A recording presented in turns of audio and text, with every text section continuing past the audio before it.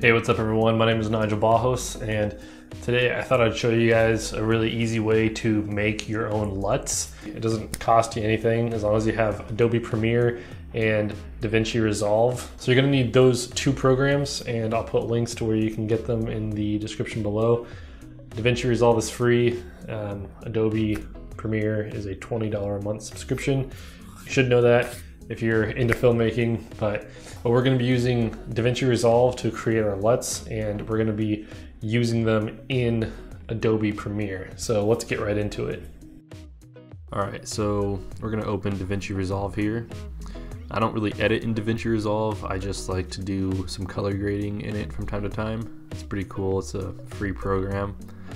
So we're gonna grab a clip I'm just gonna take a clip that I shot recently at a waterfall here in Oregon. So we're gonna import our clip to the media pool, and then we're gonna go to the edit tab and grab our clip and drag it into the timeline. And then once we got our clip in the timeline, we're gonna go to the color tab right here. And then when you open up the color tab, it'll be on your curves. This is a good way to uh, start messing around with your clip you can, you know, uh, bring up the blacks a little bit to create that faded look. Then if you go down the tab a little bit, you'll see your Luma versus Sat, and you can take down the saturation from the shadows if you want to, which is a, technique that a lot of filmmakers use to get a more filmic kind of a grade. And then if you go to your color wheels, you can mess around with the color a little bit.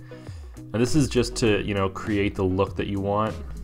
And so we're gonna be creating a LUT um, using this waterfall clip. So I'm just gonna mess around with my color wheels a bit until I get my desired look.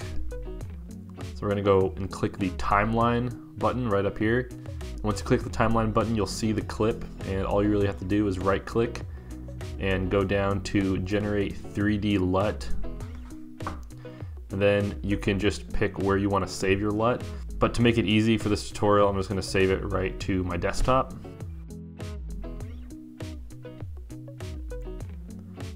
Click save. And now that you saved it, you just created your LUT. So now you can exit DaVinci Resolve and you can open up Premiere. Now I already have the clip opened up here in Premiere and it's that same waterfall clip. So now all we have to do is um, add Lumetri color to that clip, which I've already got it here.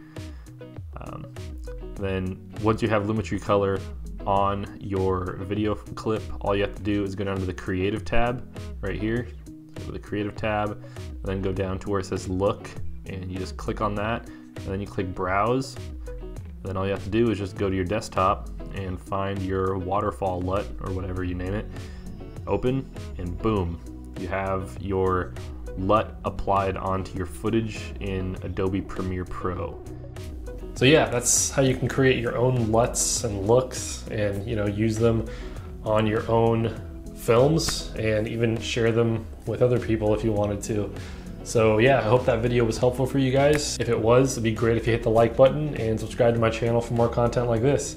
But until next time, I will see you later. Bye.